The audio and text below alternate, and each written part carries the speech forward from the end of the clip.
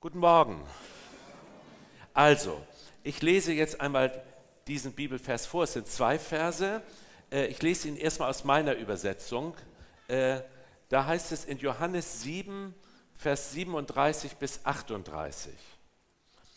Am letzten Tag des Höhepunktes des Festes stellte sich Jesus vor die Menge hin und rief, wenn jemand Durst hat, soll er zu mir kommen und trinken. Wenn jemand an mich glaubt, werden Ströme von lebendigem Wassers aus seinem Inneren fließen, so wie die Schrift sagt.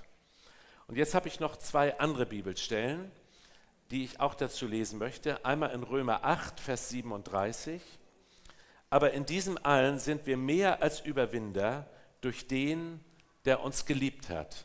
Und auch eine andere Stelle, also alles, was ich vorlese, wurde heute schon äh, zitiert, interessanterweise. Äh, Matthäus 11, 28 bis 30. Kommt alle zu mir, die ihr euch plagt und unter euren Lasten stöhnt. Ich werde euch ausruhen lassen. Nehmt mein Joch auf euch und lernt von mir. Dann findet euer Leben Erfüllung, denn ich quäle euch nicht und habe ein demütiges Herz. Und mein Joch drückt nicht, meine Last ist leicht. Mein Thema heute heißt, mit Leichtigkeit Christ sein. Also es gibt ein Gegenthema, das heißt mit Ach und Krach dem Lamme nach. äh, aber mein Thema heute heißt mit Leichtigkeit Christ sein. Und ich möchte euch einmal eine fiktive, aber denkbare Geschichte erzählen aus einer Gemeinde. Eine junge Frau in den 30ern bekehrt sich zu Jesus und kommt zu einer Gemeinde. Doch äh, bei aller Freude der Bekehrung ist sie einsam. Sie fühlt sich einsam, sie sehnt sich von ganzem Herzen nach einem Partner. Die Männer in der Gemeinde sind allerdings nicht so interessant für sie und die, die sich für sie interessieren, findet sie nicht so besonders interessant. Andere Männer, die sie kennenlernt bei der Arbeit, beim Sport und so weiter, die sind nicht gläubig und deswegen will sie auch keine Beziehung zu diesen Leuten aufbauen. Die mag sie zwar, die findet sie auch interessant, aber die sind nun mal eben nicht gläubig. Und das ist ihr ganz wichtig. Sie möchte, wenn, dann einen gläubigen Mann. Und dann geht es so in die Zeit hinein, sie fühlt sich einsam und irgendwann fühlt sie sich wie in einer Sackgasse, die gleichzeitig eine Einbahnstraße ist. Es gibt, so, äh, es gibt ja manchmal so im Internet so Bilder ähm, von Kuriositäten. Und ein Bild war wirklich ein Einbahnstraßenzeichen und gleichzeitig ein Sackgassenzeichen. Äh, da kannst du nur reinfahren und kommst nie wieder raus. Äh, ne, weil du ja nur in eine Richtung fahren darfst. Also was du machst, machst du falsch. Am besten, du fährst da gar nicht rein. Aber sie fühlte sich eben wie in einer Sackgasse, die gleichzeitig eine Einbahnstraße ist. Da gab es kein Vor, kein Zurück. Sie war gefangen, völlig gefangen. In ihrem Kummer fängt sie an zu essen und nimmt immer mehr zu. Das macht sie noch unattraktiver, besonders in ihren eigenen Augen. Wenn sie vor den Spiegel tritt, macht sie sich selbst nicht mehr leiden. Irgendwann wird sie depressiv und entfernt sich von der Gemeinde. Dann lernt sie andere Leute kennen und fühlt sich angespornt abzunehmen. Allmählich kommt wieder ihre Lebenslust zurück. Sie lernt nette Leute kennen, auch nette Männer, und mit einem dieser netten Männer beginnt sie dann auch ein Verhältnis. Sie glaubt immer noch an Jesus, er spielt aber in ihrem Beziehungs- und Berufsleben kaum eine Rolle, sondern nur ganz, ganz, ganz privat. Also noch nicht mal mit ihrem Freund oder späteren Mann, sondern nur ganz alleine für sich. Später trifft sie dann mal Leute aus ihrer ehemaligen Gemeinde. Sie schaut aus wie das blühende Leben. Und die Leute aus der Gemeinde sind richtig erstaunt, wie gut diese junge Frau aussieht, weil sie sie noch kannten, wie sie so stark zugenommen hatte und wie sie so depressiv war und jetzt plötzlich das blühende Leben kam ihnen da entgegen. Und die Christen fragten dann, na, wie geht es dir denn? Ja, wunderbar und so weiter. Und weshalb kommst du denn eigentlich nicht mehr zur Gemeinde? fragen sie. Und in diesem Moment erhebt die Frau plötzlich ganz schwere Vorwürfe. Und sie sagt, ihr habt mich mit eurer religiösen Enge krank gemacht. Ihr habt mich mit eurer religiösen Enge krank gemacht. Hast du mit Jesus die schlechteste Karte gezogen? Zieht die ganze Welt an dir fröhlich vorüber und du denkst, ich bin zwar treu dem Herrn, aber ansonsten bleibt mir so ziemlich vieles versagt.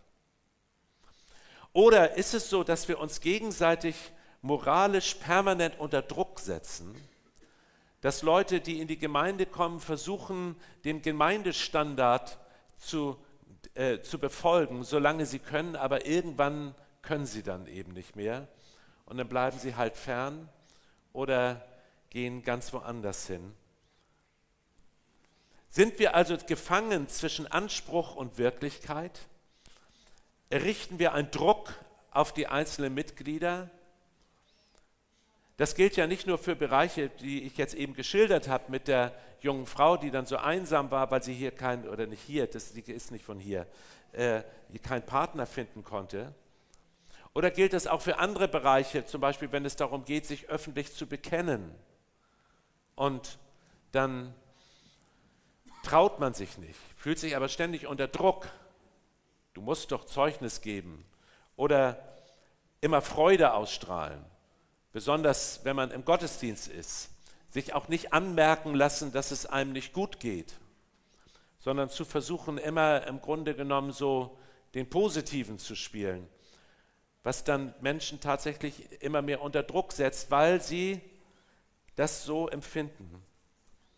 Oder ist das so, dass auch so ein Druck da herrscht, dass man eben nicht überall mitmachen darf. Sowas macht ein Christ nicht, dieses macht ein Christ nicht, jenes macht ein Christ nicht. Und am Ende bleibt eigentlich nur noch das Sauerbier.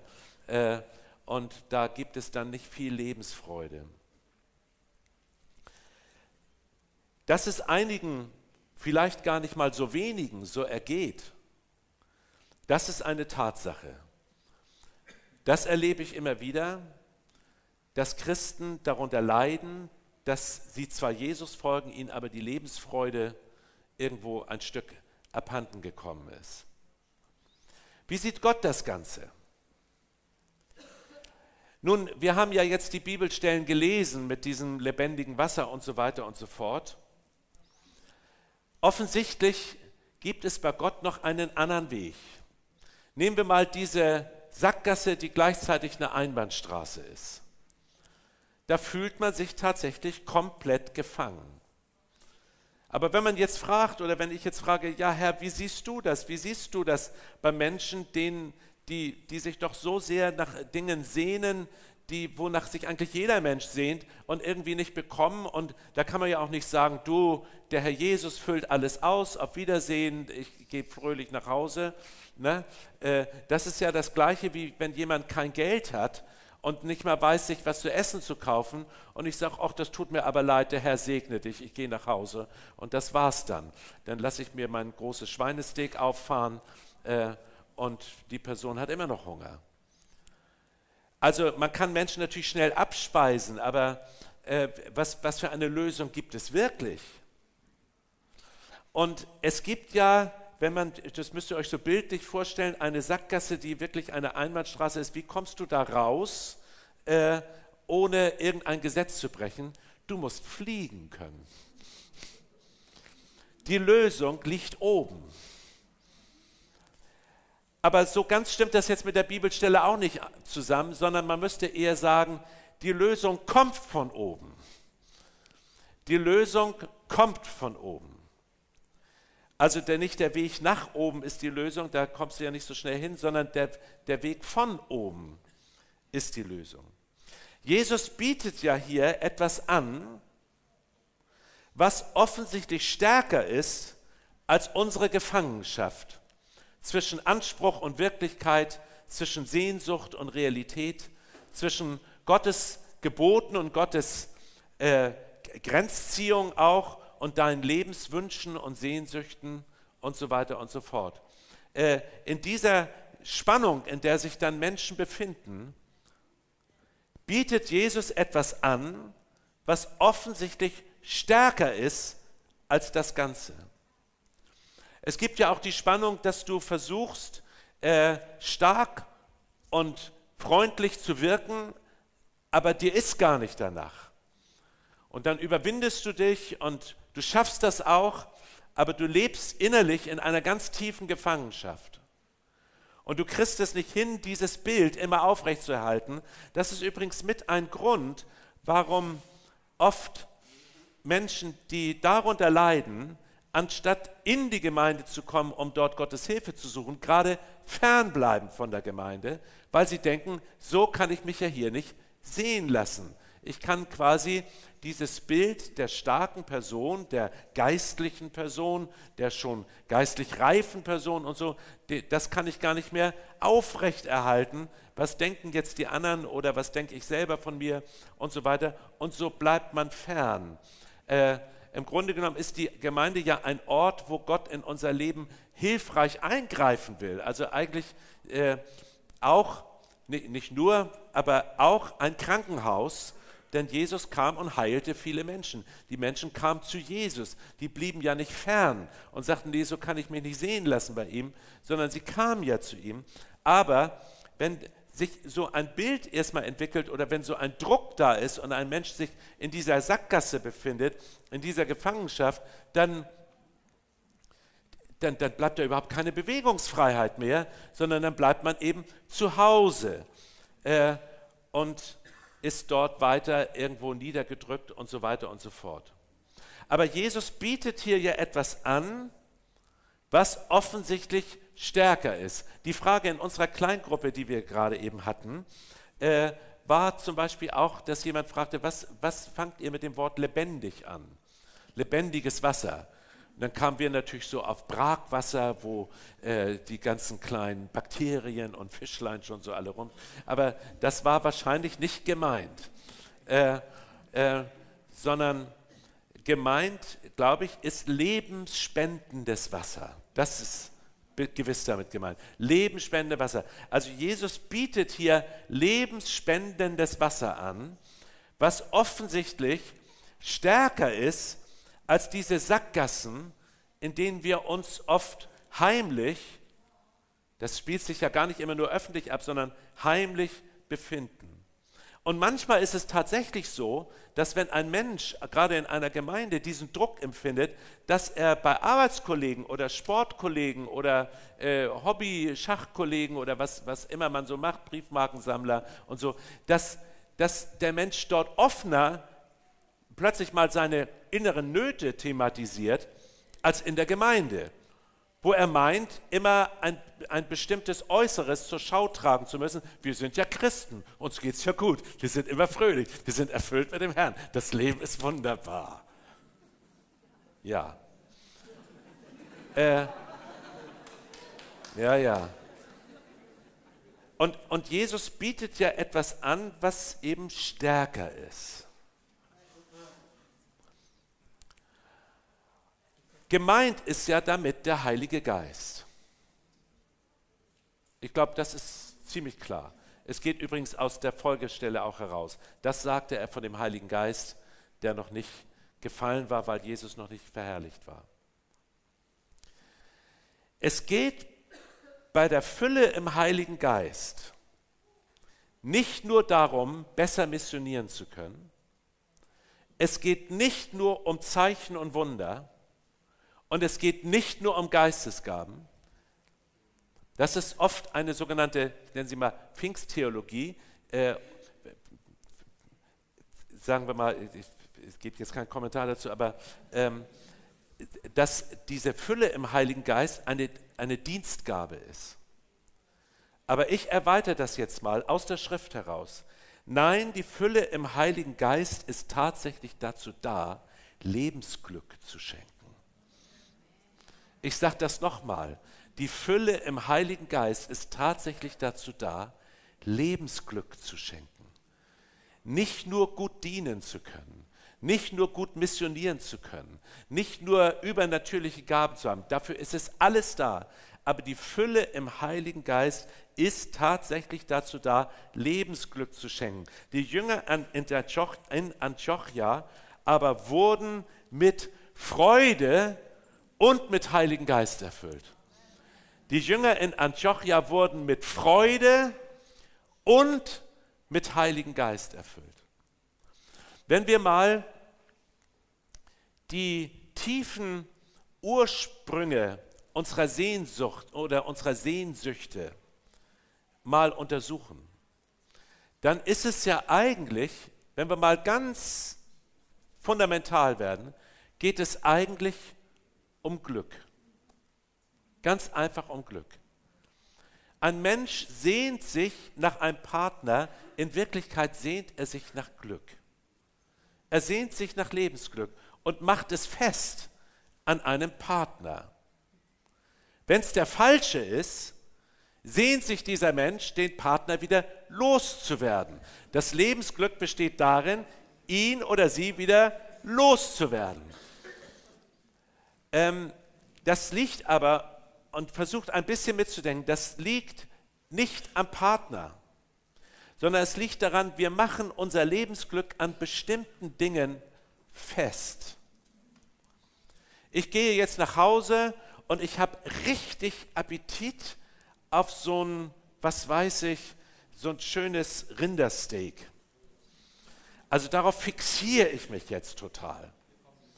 Und dann komme ich nach Hause und meine Frau sagt, du heute habe ich was ganz Besonderes.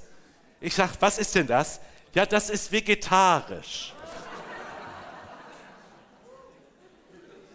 Dann sinkt mein Lebensglück in die tiefsten Tiefen der Tiefen der Tiefen.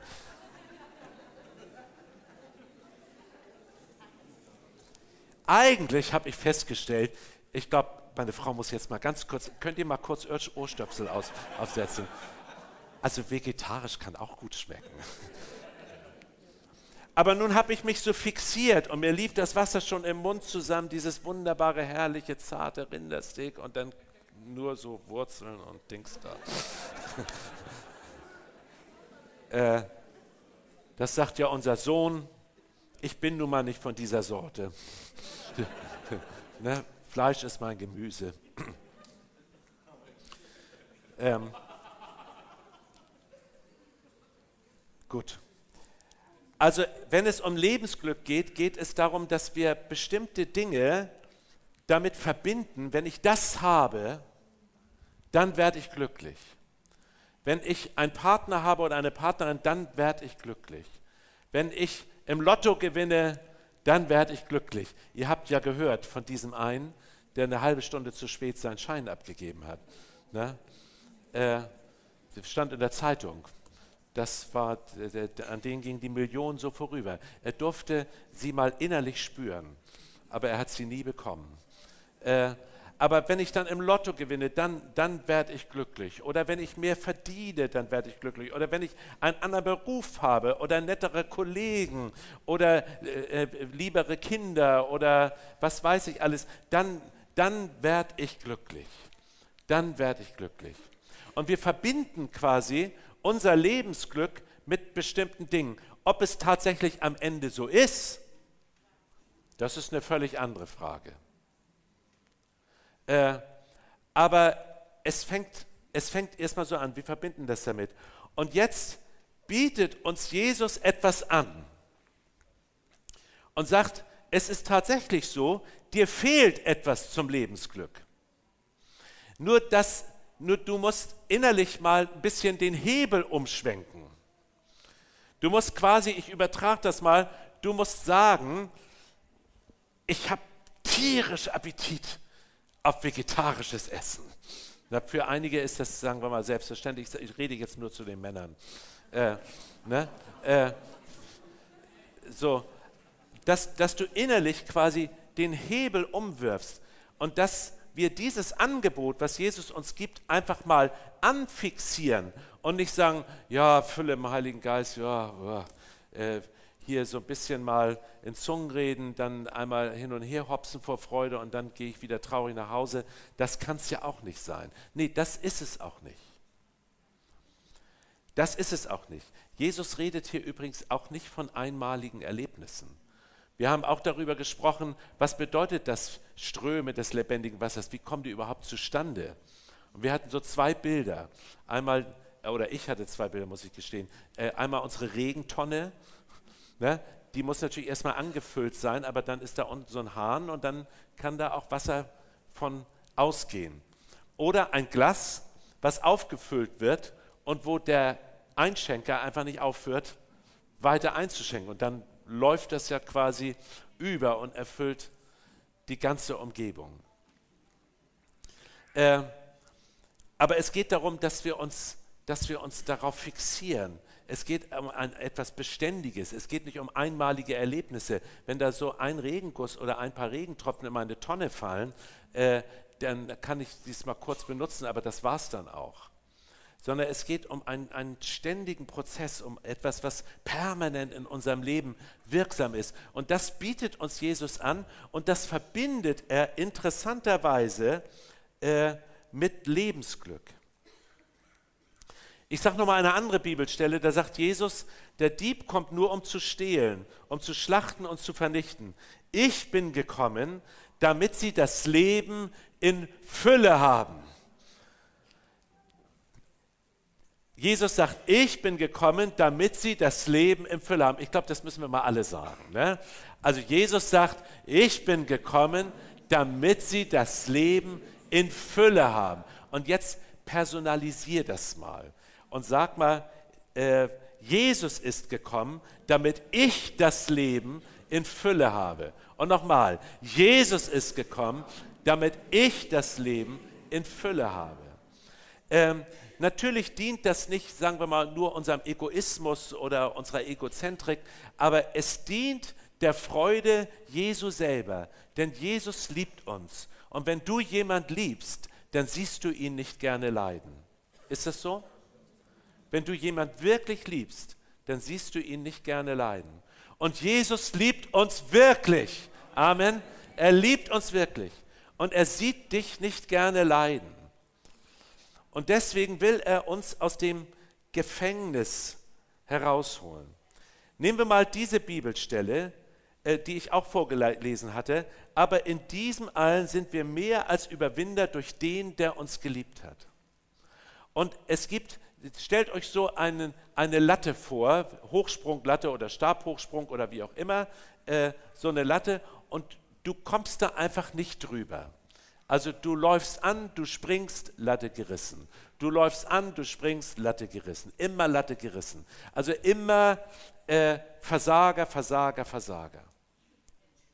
Und das war vielleicht auch dieses Schicksal dieser jungen Frau.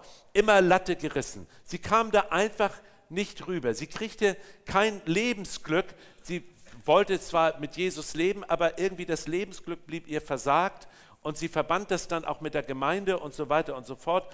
Immer die Latte gerissen, immer, immer funktionierte es nicht. Und dann ist sie irgendwann unter durchgegangen, hat gesagt, dann lasse ich mal diese ganzen Regeln beiseite, dann versuche ich es so wie alle anderen Leute um mich herum zu bekommen. Und tatsächlich hat sie dort ein Stück ihres Lebensglücks gekriegt.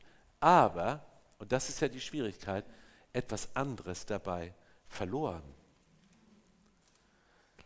Und das ist der Unterschied. Jesus bietet uns etwas an, wo du es kriegst und trotzdem nichts verlierst. Du, du verlierst ihn nicht und bekommst trotzdem Lebensglück. Und so macht er uns zu Überwinder. Das heißt, wir kommen mit ihm mit Leichtigkeit über diese hohe Latte rüber. Ohne ihn geht es nicht. Aber er bietet uns das an, dass wir mit Leichtigkeit über diese hohe Latte hinwegkommen.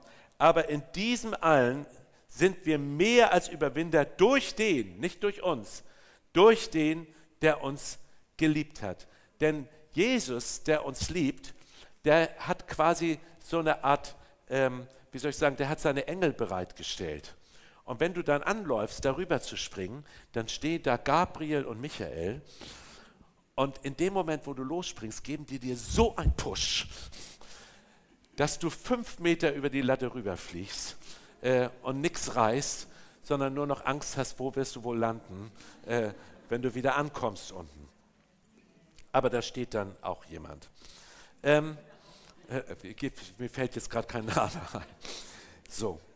Ähm, jetzt geht es aber um Folgendes, ihr Lieben. Jesus bietet uns etwas an, aber es kommt nicht automatisch über uns. Das lesen wir auch in der Offenbarung. Der Geist Gottes und die Braut rufen, komm. Und wer es hört, soll den Ruf, in den Ruf mit einstimmen, komm. Und wer Durst hat, der komme. Und wer will, der trinke vom Wasser des Lebens. Er bekommt es umsonst. Und wer will, der trinke vom Wasser des Lebens. Das heißt, Jesus bietet uns Lebensglück an durch seinen Heiligen Geist. Aber er stülpt es niemand über, sondern er sagt, komm. Und das ist jetzt diese große Schwierigkeit, dieses Kommen. Weil mit diesem Kommen zeige ich ja, dass ich es brauche. Ich meine, wenn jemand Durst hat, ich meine, jeder Mensch hat Durst. Also da, wie soll ich sagen, das ist ja nicht peinlich, wenn du sagst, ich habe Durst und muss, muss was trinken. Aber dieses Kommen, das stelle ich mir manchmal so vor wie Leute, die zwar kaum ein Einkommen haben, aber nicht zur Emshorner Tafel kommen mögen, weil sie sich dann outen, dass sie nichts haben, dass sie was brauchen. Und wir erleben ja jetzt bei der Tafel, auch gerade bei den Abholern, erleben wir ja äh, inzwischen eine Art Dreiklassengesellschaft. Die erste Klasse ist die, die es haben, also die Bürgerlichen und die Reichen. Die zweiten sind die Hartz-IV-Empfänger und die dritte Klasse, das sind die Flüchtlinge. Wir erleben etwas ganz Merkwürdiges, dass die deutschen Abholer kaum mehr kommen. Die kommen dann nachher zum Mittagessen teilweise, aber kaum mehr kommen. Das heißt, ein, ein deutscher Hartz-IV-Empfänger, dem ist es so peinlich, unter lauter Syrern zu stehen und eine zufällige Nummer zu ziehen, äh, dass er dann lieber gar nicht erst kommt. Das, das haben wir so festgestellt in der Entwicklung. Das haben wir auch der Politik weitergegeben. Und so kommt es mir manchmal auch vor, wenn so ein Aufruf kommt, komm, dass man denkt, na, dann, dann oute ich mich ja, dann, dann zeige ich ja, dass ich bedürftig bin.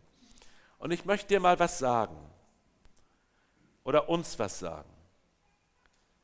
Wenn ich Sport getrieben habe, nimmt es mir niemand übel, dass ich Durst danach habe.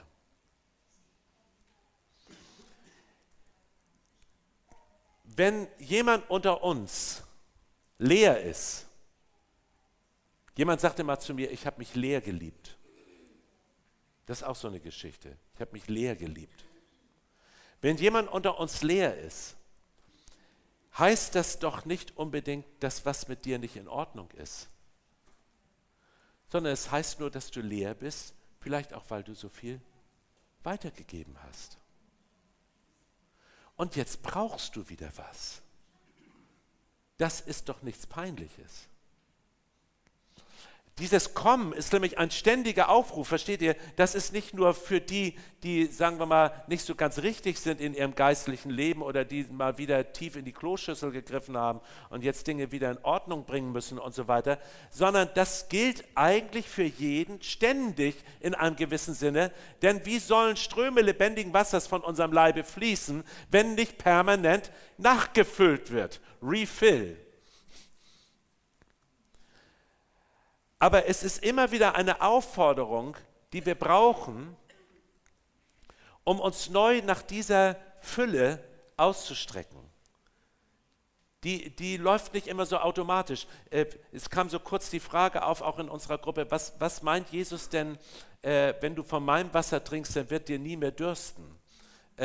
Das ist doch, also, das denken ja, einmal Heiligen Geist empfangen und alles ist okay, dann läuft das ganze Leben durchweg nur in Kraft und in Herrlichkeit und so weiter. Aber Jesus erklärt das ja danach. Wird niemals dürsten, denn es wird eine Quelle in der Person. Und ich will das mal jetzt so übertragen. Das ist so, früher hatte man Brunnen, da musste man hinmarschieren und dann hat man Wasserleitung gelegt in die Häuser rein. Und jetzt ist die Quelle des Wassers in deinem Haus. Du brauchst nur den Wasserhahn aufdrehen.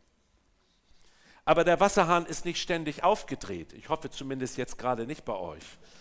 Sonst habt ihr ein leichtes Problem, äh, wenn ihr wieder nach Hause kommt sondern selbst ein Wasserhahn, der in meinem eigenen Haus ist, den muss ich aufdrehen.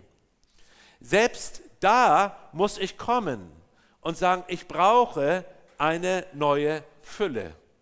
Ob es nun eine Quelle in mir ist oder ich zu einem Brunnen hinlaufe, das spielt jetzt gar keine Rolle. Es ist immer wieder die gleiche Sache. Komm. Und wer will, der nehme das Wasser des Lebens umsonst. Ich möchte einfach nochmal festhalten. Jesus bietet uns etwas an wirklich im Heiligen Geist richtiges Lebensglück. Keine gespielte Freude, äh, keine, keine Art von, von Freude und Lachen, wo man denkt, oh, gleich sind die Leute reif für die Psychiatrie, sondern eine ganz tiefe innere Freude, die dir niemand nehmen kann und die dein ganzes Leben komplett ausfüllt. Und in diesem lebendigen Wasser bietet er uns gleichzeitig an, die Maßstäbe, die er uns gibt, auch halten zu können. Und ich lese nochmal diesen berühmten Vers, der ja oft zitiert wird. Kommt alle zu mir, die ihr euch plagt und euren Lasten stöhnt. Und dann sagt er nicht, ich werde sie euch abnehmen, sondern ich werde euch ausruhen lassen. Und jetzt sagt er etwas ganz Komisches. Er sagt eigentlich, ich gebe euch sogar noch eine Last obendrauf. Nehmt mein Joch auf euch und lernt von mir. Dann findet euer Leben Erfüllung. Denn ich quäle euch nicht und ich habe ein demütiges Herz und mein Joch drückt nicht, meine Last ist leicht. Gemeint ist dieses Doppeljoch. Früher äh, gab es ein Doppeljoch, das zwei äh, äh, Ochsen oder Stiere quasi unter ein Joch gespannt wurden und dann zusammen äh, quasi den Job taten. Und wenn Jesus sagt, nimm mein Joch auf dich, dann heißt es, er ist auf der einen Seite und du bist auf der anderen Seite. Er ist der Starke und du vielleicht im Moment nicht. Aber zusammen schafft ihr das. Ne? Zusammen schafft ihr das. Und das, das auch trägt er, unsere Last trägt er ja auch mit uns zusammen. Er, er, nimmt es nicht immer alles weg, aber er gesellt sich dazu. Und das ist dieses lebendige Wasser. Er gibt dir eine Kraft, die dir Dinge möglich macht, die dir vorher nicht möglich waren. Mit ihm überwinden wir weit. Und das ist, das ist dieses tiefe Geheimnis. Und dazu möchte ich heute einfach mal Raum geben dass wir dieses lebendige Wasser suchen. Und ich würde es gerne so machen, wie Alex es auch letzten Sonntag gemacht hat. Ich fand das gut, dass wir jetzt nicht in erster Linie ein Seelsorgegespräch suchen. Das bieten wir nach dem Gottesdienst an, für jedermann, sondern dass wir seine Kraft suchen, das lebendige Wasser. Und wer immer mag, der darf jetzt kommen und sich danach ausstrecken, nach diesem lebendigen Wasser, nach dieser Fülle.